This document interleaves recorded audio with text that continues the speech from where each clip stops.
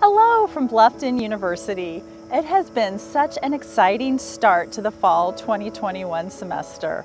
It's a pleasure to watch our students grow as people and scholars. Today I have a major announcement that will have an impact on our current and future students in science instruction at Bluffton University.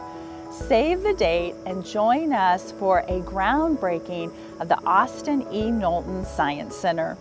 The groundbreaking will take place at the heart of campus at 4.30 on Friday, October 1st. This new building will transform science education at Bluffton University and will help us prepare future leaders to address the pressing science, technology, math, and healthcare needs of the region. My deepest appreciation goes to the Austin E. Knowlton Foundation our faculty, staff, alumni, and all of the donors who contributed so generously to this project.